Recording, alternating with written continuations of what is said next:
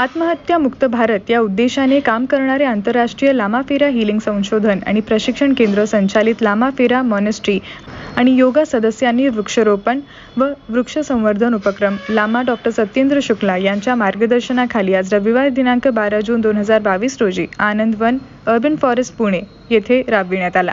राष्ट्राच्या पर्यावरणीय विकासासाठी संपूर्ण प्राणी मात्रांना वृक्षांचा सहारा व्हावा यासाठी भारतीय पारंपरिक वृक्षांची लागवड आज या उपक्रमाद्वारे करण्यात आली.